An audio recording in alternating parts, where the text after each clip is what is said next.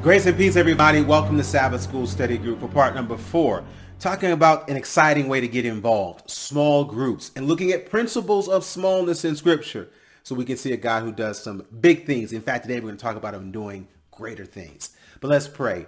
And we're praying, number one, that God would be with us in our study, but also I pray that you have been blessed by these lessons. If you have, pass it on to somebody else. Shoot them a text, email them the link, whatever. Get it to them so that they can know that there is a place where they can be encouraged and they can be inspired.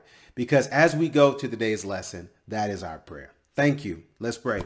That in Jesus' name, Lord, you would inspire us through your greatness. Be big in our hearts, even if we are of little faith, of little ability, even just little. You specialize in doing this, Father, and that's why we surrender it to you now. All our smallness. Amen. Amen. Surrendering the smallness, right? Not just the allness, but when you bring all together that we really and actually are, it's very small in relationship to this great God that we have.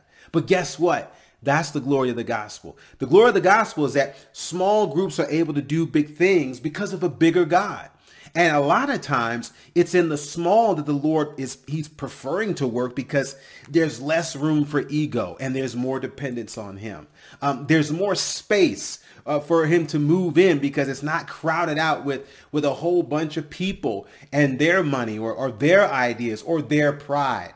Small things because of a bigger God. What examples do you see that? You can go to the book of Acts 4:31 and see when Peter they had prayed. That's Peter, John, and the believers, they prayed. The place was shaken where they were assembled together.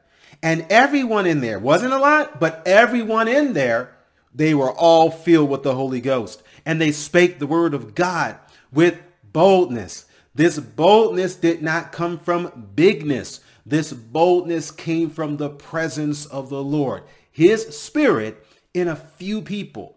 He doesn't need a lot. But whatever he has, he needs all of it. And when they were all on one accord, they were all filled. So now when you go to Acts 4, take it out and look at Acts 12. Acts 12, 12 says, when Peter, here he's again, had considered the thing, he came to the house of Mary, the mother of John, whose surname was Mark, where many were gathered together praying. A little context here. Peter got locked up for preaching the gospel and he had just been freed through a miracle of grace where he was led out by an angel. And when he was considering this thing that that had just happened this massive miracle he's led now to the place where there were a group of people gathered praying and they were praying for him.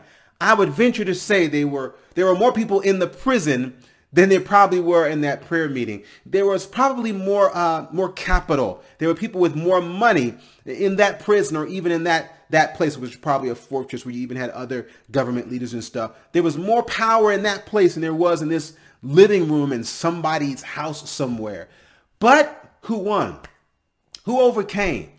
Where was the miracle? The miracle was from that small group that was praying for God to do something bigger than, not just bigger, but bigger than them, something that they could not do.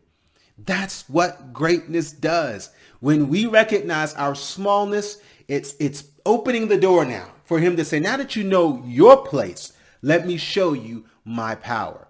We see it one more time in Acts 20, 28, where it says they're commending the faithful, they're commending the believers. Take heed, therefore, unto yourselves and to all the flock, over the which the Holy Ghost hath made you overseers to feed, feed the church of God, which he hath purchased with his own blood. Herein lies the power. Herein lies the value. All the flock of God. Why are they special? Are they special because they're a majority? Are they special because there's so many of them? No and no. The flock of God is special because these are they which have been purchased with the precious blood of Christ. He is the one that gives us our value. We can't poke out our chest and stomp our feet and hold our hair up in the sky because we are a big church or we are a powerful ministry or we are whatever we are because he is. That's where we bow our heads and we lift our hands and we raise our voices in praise like Israel of old when they were faithful, when they did not look at their sword, but instead they were relying on the Spirit, that's when they were able to tear down walls without touching them.